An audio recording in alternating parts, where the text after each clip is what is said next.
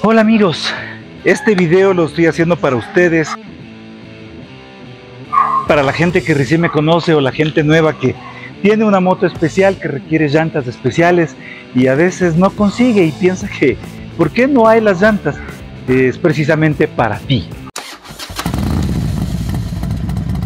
Hola amigos, quiero enseñarles un poco del tema llantas porque ha habido muchas personas nuevas en el tema del motociclismo y quiero expresar todo esto a través de mi punto de vista únicamente.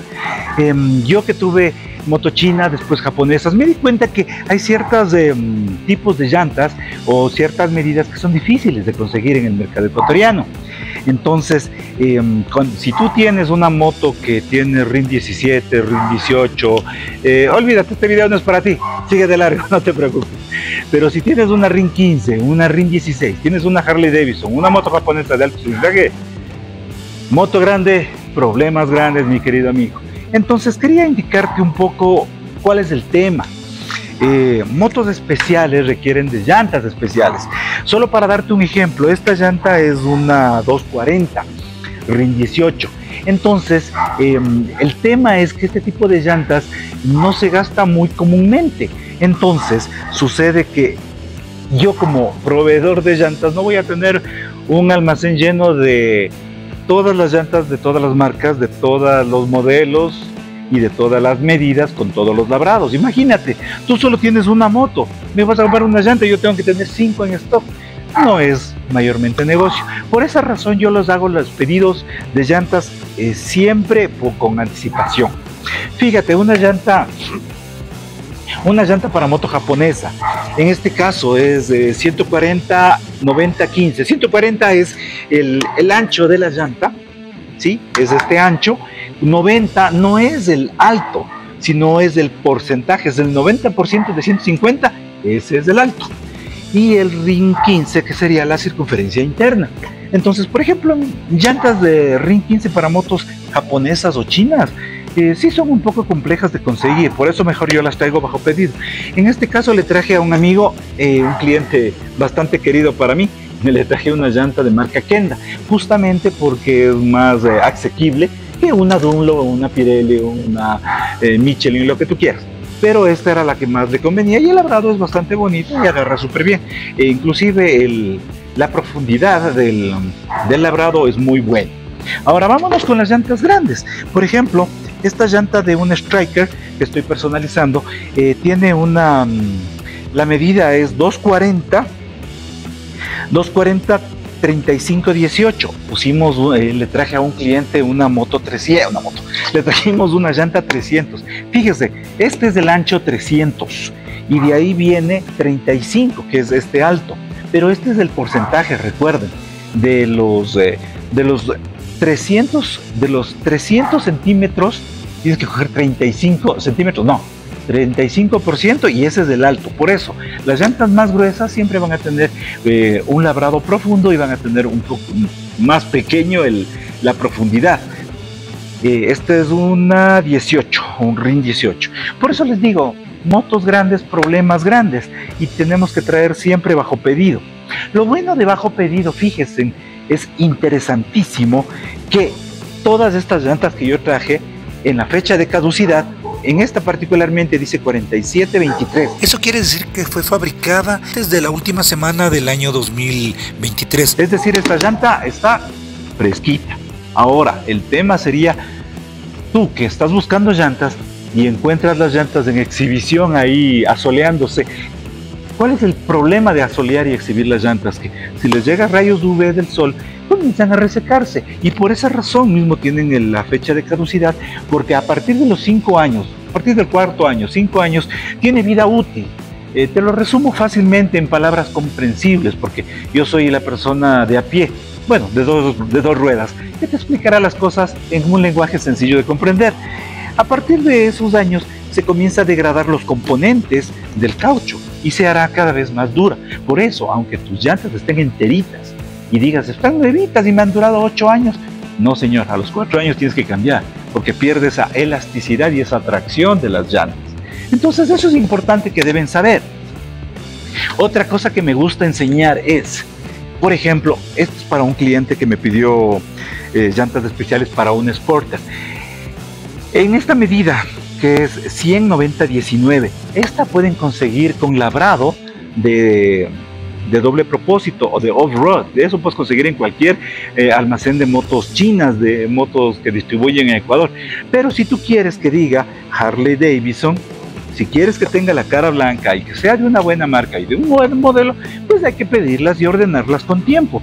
Recuerda que el paseo, la revisión vehicular y todo lo que tú hagas, sabes que la llanta está por caducar, sabes que tu llanta está lisa, cómprala con anticipación. Todas las llantas se demoran en llegar de aproximadamente entre 20 a 30 días. Y eso es lo importante que debes saber. Por ejemplo, esta llanta particularmente es 4423 fue fabricada en la semana 44 del año 2023. Sigue siendo fresquita y tiene toda esa elasticidad. Haz la prueba en tus llantas. Esta es la llanta trasera del Sporter, es el mismo modelo. Lo importante aquí es comprar siempre la de, el modelo adecuado. No es lo mismo poner la llanta trasera adelante, a pesar de que deben tener la misma medida. Pero es importante saber que la de adelantera tiene un labrado especial y compuestos especiales porque es la llanta que da el giro. En cambio, la rueda de atrás tiene otros compuestos que darán la tracción. Esto por eso se desgastará mucho más en el centro y, al, y a los lados serían los que más saben correr, pues desgastan los lados. Pero los que eh, utilizamos bastante el custom sabemos de que esta al inclinarse tiene compuestos suaves en toda la, cámara, justamente para dar esa em, confianza al dar el giro. No todas las llantas son iguales y no todos los compuestos son iguales. Esta es otra llanta que me pidió un amigo, em, un gran y querido amigo de Santo Domingo. Él nunca ha ido a mi local, no conoce mi local. Es más, hemos saludado dos veces, pero él confía y siempre me, deposita y traigo las llantas para él todos los, cada tres o cuatro años. Esta es una marca Shinko, esta es 150 80 16, cara blanca, ancha, que también puedo conseguir en otras marcas, pero siempre es importante que conversemos qué marcas de tu preferencia, qué tipo de moto es la que tienes, porque dependiendo de eso, busco el modelo que soporte el peso de tu moto, que aguante la velocidad de tu moto y que sea de una buena durabilidad. Les voy a hacer un ejemplo muy claro y les voy a decir esto y ojalá se ofendan y ojalá me disculpen por lo que voy a decir. Pero hay clientes que me dicen, no, pero es que donde el vecino tiene más barato que vos tienes más caro. Claro, señor, el vecino trae contenedores de llantas. Yo traigo una, dos máximo. Y es para ti, para nadie más. No puedo tener en stock. ¿Tiene mucho más barato? Sí, pero ¿cuánto es más barato? La diferencia entre el vecino y yo es aproximadamente, hablemos en costos monetarios, no sé cómo será en tu país, pero en Ecuador el caso es aproximadamente la diferencia es de entre 100 a 80 dólares. Coge los 100 dólares, exageremos que yo tengo más caro de 100 dólares. Coge los 100 dólares y divide para 4 años. ¿sí? Eso es aproximadamente 25 dólares. Coge esos 25 dólares y divide para 12 meses, que es un año, ¿no es cierto? más o menos te va a salir en unos 3, 4 dólares mensuales de sobreprecio que piensas que estás pagando de más. En una sola salida tú gastas mucho más en gasolina y en comprarte una hamburguesa que en comprar unas buenas llantas que te van a durar aproximadamente 4 años. No vas a ver, no vas a tener problemas de 4 años, pero si por tu desgracia compras una caducada, vas a tener eh, un problema. Número uno, se te resbala. ¿Por qué? Porque los compuestos están duros, por lo tanto no tiene ese agarre que necesitas. Dos, se comienzan a trizar. Cuando veas que está comenzando a trizarse es porque está caducada o porque le llegó demasiado el sol y se resecó mucho los compuestos de las llantas. Y eso marca mucho la diferencia. Cuando cambian de llantas, no se, no, no escatimen en seguridad. Y un consejo que les doy es, Siempre compren las llantas con anticipación. Mejor es tenerlas uno o dos meses antes de, antes de cambiarlas. No cometas el error de un cliente que compró unas llantas y le estuvo guardadas cinco años y en cinco años ya se les caducó. Claro que estaban a la sombra y todavía tenían algo de elasticidad, pero recuerda, los, los componentes se van degradando año a año. Siempre es importante comprarlas con unos pocos meses de anticipación para cambiarlas.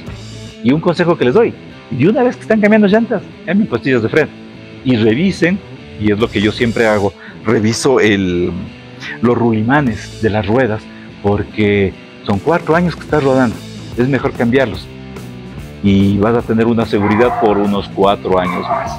Recuerda que si tu moto es original y nunca has hecho esos cambios, dile a tu mecánico que realice ese, esa revisión, porque donde vas a comprar las llantas solo te venden las llantas, te, te balancean, te piden tu dinero y te vas.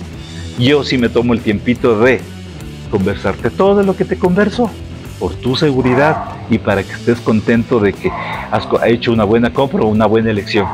No solo hacemos plata, hacemos amigos. Espero eh, haber eh, tocado muchos temas en el muchos temas o muchas dudas que suelen tener mis clientes. Si tienes alguna duda, alguna pregunta, por favor, házmela llegar en la caja de comentarios. Siempre para mí es un placer eh, ayudarles y atenderles. Y recuerden, esto lo hacemos por ustedes. Adiós.